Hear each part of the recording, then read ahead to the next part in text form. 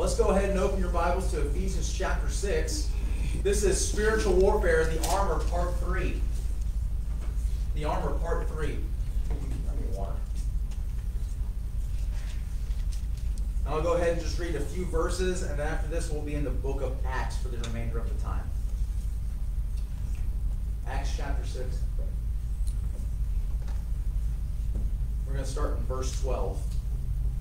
For we wrestle not against flesh and blood, but against principalities, against powers, against the rulers of the darkness of this world, against spiritual wickedness in high places. Wherefore, take unto you the whole armor of God, that you may be able to withstand in the evil day. And having done all, to stand.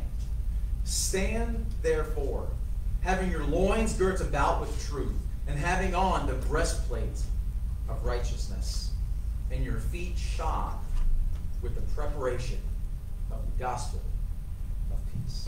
Let's pray. Father, we love you. We just thank you for the reading of your word. God, empty my mind out. Fill me with your Holy Spirit now. Help me to feed your sheep today.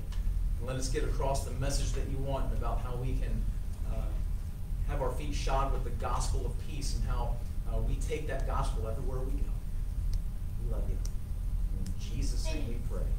Amen. Who, who, was my early amener? Who was that? Hmm, Matthew, I'm going to get you. You'll see. I'm going to get you, boy. You know, what I think about this uh, verse here, and uh, when I was studying it today, and, and she's listening to me. Stop listening to me. And uh, I was thinking about this today, and uh, with the armor that we've gone through, we talked about the belt of truth how the belt of truth reveals. And then the breastplate of righteousness sanctifies or seals us. You know, this is how our salvation works. Isn't it interesting that Paul's putting all this in here and he's giving us the steps of our salvation? And that upon salvation, we, we understand who we are. We're sinners and that we can't get to heaven. And then that we are sealed by the blood of Jesus Christ and that sin doesn't have to conquer us anymore, but Jesus conquered sin and death and, and sanctified us, covers us with his blood, and our sins and past is no more. But then we look at the, the gospel of peace. We, we put on the shoes. And we have to shod our feet. That means to bind and to tie tight. And we have to be ready with that, the preparation of the gospel of peace. You know, I think about shoes. I have my nice shoes on right now. I have my brown shoes. By the way, I hate shoe shopping. My mother will do it for me. About Christmas is when I get new shoes. All right? My Christmas shoes. Okay? Because I have a size 14 wide foot and I can't find anything that's going to fit. Sometimes I wish I could just go barefoot. You know what? I can't go barefoot. When I was a kid, I would go barefoot sometimes, and I remember we had our gravel driveway at home, and I could actually walk on the gravel. And it really wasn't that bad. I, I got used to walking on the gravel. You kind of had to be careful, but I could start going a little faster, and I'd walk outside without shoes on. Uh, and I remember my mom told this story too, but isn't this true? We often go barefoot everywhere we go. Until one day, what you go barefoot? You step on a bee. Man, that hurts.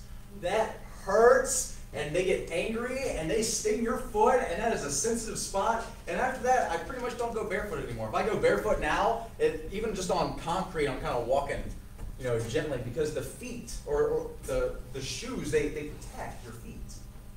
Now, what's interesting is there's different types of shoes for everything, isn't there? I mean, back in the day, it used to be just kind of one type of shoe, right? Uh, Dad, back in your day, how many different types of shoes did they have when you were growing up? Quite a bit. Did they have quite a bit still? Yeah. Usually I just see like the black shoes that were nice and they wore those to run around and play in and they had a nicer black pair of shoes for, you know, going to, to church in. I mean, it was weird. If you look back in like the old, old movies that you watch, and I like watching those, it was just like, just one pair of shoes, right? It didn't have gym shoes up until, uh, I don't know when that was, Dad. You know, he, he used to sell shoes and worked at a shoe place because he was, he's really adamant about having the right type of shoes on. At Christmas, when we put them on, we're walking around, he goes, how, how do they feel? And he goes, get over here, put all your weight on the right side, all your weight on the left side. And he grabs our foot, making sure that there's enough room, and he still takes care of us because when you have the wrong shoes on, it causes issues. If you don't have the right shoe on, your feet can start to hurt. When your feet start to hurt, it can cause back issues, knee issues. When that starts to happen, uh, it makes it more difficult to do certain jobs. I work at Kroger. I worked grocery the other night. I was down low on the ground. I can tell you, I was sore. I was hurting the next day because I got down into the areas that I had to almost lay on my belly at times to reach back on these shelves that are on the bottom shelf. I'm a big, tall guy. And when you can't uh, perform your ability at your job, what happens? You end up not looking good to your boss. You could possibly lose your job. And then there's that ramification if you lose your job, you lose your income. If you lose your income, you could lose your house. If you lose your house, you don't have a place to live. Uh, you could even lose your car because some people have uh, car payments and uh, they repo your car back. Uh, you don't have money for food, and then you pretty much die. All because you didn't have the right shoes. So we're going to close with that. Get the right shoes on, folks. All right? Mary's looking at me funny. She's like, Bryce, just stop. But shoes are important. But here, Paul's talking about a spiritual shoe. He's saying right here in, in, in verse uh, 15, he says, And your feet shod with the preparation of the gospel of peace. Can we just break some of these words down in this verse? The word shod means to bind under one's feet. Gospel, I mean, and we've heard you preach the gospel. Does anybody know what the gospel means? It means this it means a good message. That's why it's the gospel of Jesus Christ. But just the word gospel and, and, and it's by itself, it just means a good message. So you have to bind under your foot the gospel, which is a good message of peace. The word peace here, it, it, it means it, it's a piece of literal or figurative, by implication, prosperity. So we should have this good message bound to our feet, which brings in prosperity no matter where we go. Well, this is tough. This is hard to have, isn't it? I, if you go out into the world, even now with everything that's going on in the news, it's hard. It's hard to be positive. It's hard to think I want to be prosperous in my Christian life when we just feel like the wind's taken out of our sail. Like, oh, man, oh, what's going on? I was having a conversation with uh, Brother Eric this morning, and uh, my devotion that I read today, which is very challenging. It says, and it says in, in the Bible, and it was in uh, Timothy, that you need to be thankful. That's a you need to be thankful for the kings and magistrates that are over you. That is a hard message right there, isn't it? be thankful. So I, I said, okay. So come January 21st, guess what? This guy is going to be thankful for the people that are over him, even the new president. And that can be hard. But you need to be thankful for who's over you. That even sounds dirty coming out of my mouth. Sorry, I'm not level. Um, but this is hard to do in, in today's society because we can. Uh, we just need to think about what these shoes can bring. You see, the gospel of peace brings something to your life that you've never realized before. To see what it brings, let's turn to the book of Acts. I want to look at two men that had their feet shod with the gospel of peace. You see, when Paul wrote the book of Ephesians, he pinned these words down as he had already experienced so much pain, so much suffering, so much turmoil, and he knew what it meant to shod his feet with the gospel of peace. So go to Acts chapter 16. Acts chapter 16. We're going to see what it looks like in the life of a believer as a Christian that is born again, that has accepted Jesus Christ as his Savior, to shod your feet with the gospel of peace. Go to Acts. I'm just going way past it. Acts chapter 16. And we're going to start in verse 20. I had 25 on there. Let's start in verse uh, 20. Acts chapter 16, verse 20. Actually, let's start in 19. And when her masters saw that the hope of their gains was gone, they caught Paul and Silas and drew them into the marketplace unto the rulers and brought them to the magistrates, saying, These men, being Jews, do exceedingly trouble our city. Now, Paul and Silas went into the city. There was a woman following them around for days that was possessed of a devil, and she was a soothsayer and made all these guys money. So they had her captive. She had a devil in her, and she could soothsay. She could tell the future. All right, she could know what was going to happen, just and gave all this stuff to these guys, and they used her. And this woman was following Paul and Silas around everywhere. And she was saying, Hey, they're coming into the city. All these people are Jesus. And it even said at one point, Paul got grieved. He, he got fed up with this woman following him around. So he just turned and looked at her and, and cast the demon out of her. And now all of a sudden, these magistrates, these people that were making money off her, can no longer make money off this woman. She's the, the devil's gone, she's clean. Paul casted that, that wicked thing out, and now these guys are like, man, we don't have a way to make money. We're angry at these guys for doing this. And that's where Paul and Silas are, and that's where they are brought to these uh, Pharisees and these religious rulers. And it says in 21, and teach customs which are not lawful for us to receive, neither do observe, being Romans. And the multitude rose up together against them, and the magistrates rent off their clothes. They stripped them down naked and commanded to beat them.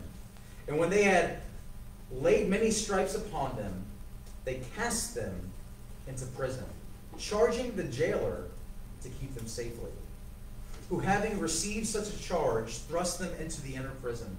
And at midnight, Paul and Silas prayed and sang praises unto God. And the prisoners heard them. I want to look at this first point here of what the gospel of peace gives, because the gospel of peace gives us things when we put the right shoes on and where we walk, even on the hard ground to walk on, we can still be protected. The gospel of peace gives three things I want to look at. The first one is it gives strength. And when we looked here in verse 24, it says, Who having received such a charge, this is the jailer, thrust them into the inner prison. So that means the, the, the, the innermost part of, of that jail. It would be hard to break out of there. He goes, I'm not losing track of these guys. It'd be like being in the center of Alcatraz, all right? And it says, uh, and made their feet fast in the stocks. So he, he chained them up. So you got Paul and Silas that are uh, naked, chained up, they've been beaten. Can you imagine that? Has anybody here ever been beaten, chained up, and naked? I, I, I have not, okay? I've not been, that's never happened to me. And I pray that this never happens to you guys. But can I tell you this? This does happen to people all over the world that are missionaries going into foreign countries, being tortured, they've been beaten, They've been put in prison, they're naked, and they die there. That happens today. We just don't see it. It doesn't get advertised, but it does happen. But I want to look at this. I see it, the gospel of peace that gave Paul and Silas a strength. see, Paul and Silas were beaten, stripped down in the center of this prison with stocks on, but they had the strength. If you look here in verse 25, they had the strength to pray. It says this, in that midnight, verse 25. Paul and Silas prayed. When hard times come your way, what's the first thing you do? We should. But typically in people's lives, when hard times come, we complain. Oh, look what happened. Oh, I'm, in the life of a believer, I, have heard many Christians when you get around, uh, especially pastors, all right? But really, it's anybody. You get around a big group of people, and you start talking, and then it almost becomes a competition of whose life is worse. Have you ever had that? Who has a worse life? Who has the most heartache? Who has the most troubles? It becomes a competition. You just gotta one up it. It's like, man, it drains you. It drains me when I get around people like that. It's like, come on, guys, is there anything good and positive going on in your life? Well, I don't know. Like, you're alive. Be grateful for being alive. Yeah, my life is full of misery. Well, yeah, probably because you have a terrible outlook on it. You're not thinking, what can God do? You know, Vicki told me when she was driving to the hospital, she just was just breaking down. Just like, God, what are you doing? he just let her know, hey, I'm still with you. And I'm in control. And even in that time of heartache, she even said on the way, she started praying. Church, when bad times happen, the gospel of peace will give you the strength to pray. It should be one of the first things that we do. Get on your knees and pray. Hey, during this election, did anybody get on their knees and actually pray? Or did you just kind of casually pray about something? We've been so focused on seeing a miracle for Pastor Tim, and I've been praying diligently about it in my own personal life. We've been praying here as a, as a church family, and look what God did in this time. I feel like a short time when we've been diligently seeking God and praying for a miracle. God can answer anything, but you got to get down on your knees. You got to have the gospel peace to give you the strength to pray. But look at this.